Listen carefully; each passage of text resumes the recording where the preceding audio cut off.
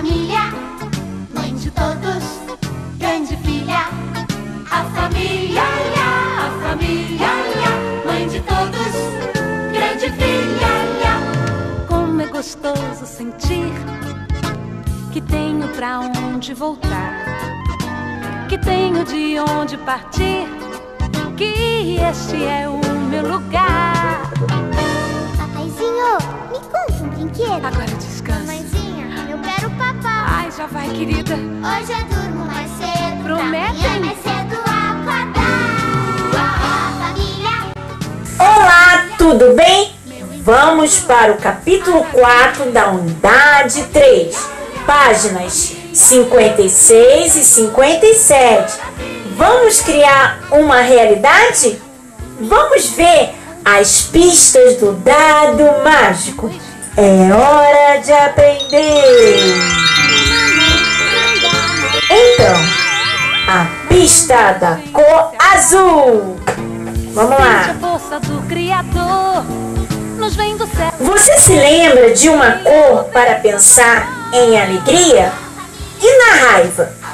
Acho que a azul representaria a calma, a paz, não é? O vermelho representaria a agitação. Cada um expressaria um sentimento por meio de uma dada cor. As cores que representariam os sentimentos são diferentes. E por quê? Porque os sentimentos também são diferentes. Vamos para a próxima pista? Próxima pista: pote amarelo. A família, mãe de todos, grande.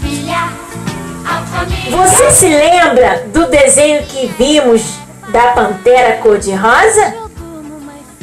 Um relógio cuco foi transformado em um personagem, logo, um objeto imaginário, já que o relógio cuco não faria de tudo para acordar alguém.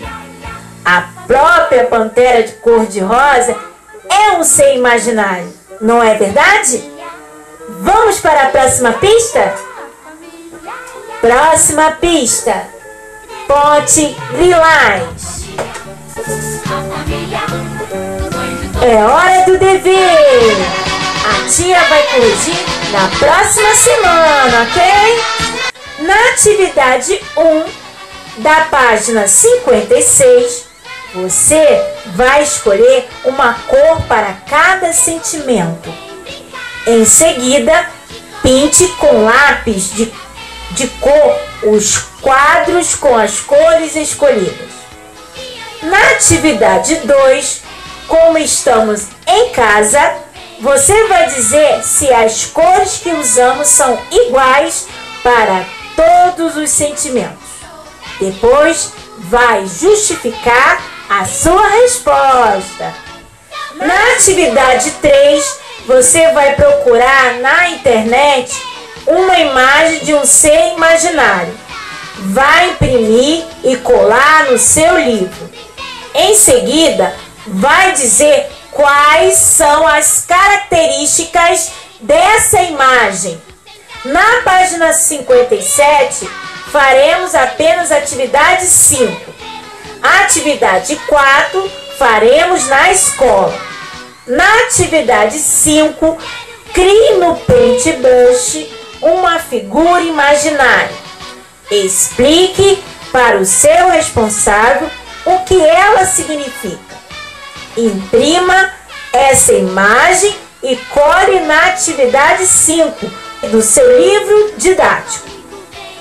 Caso não consiga imprimir, desenhe essa figura na atividade 5, usando canetinha e lápis de cor, ok? Então, crianças, espero que eu tenha ajudado hoje, ok?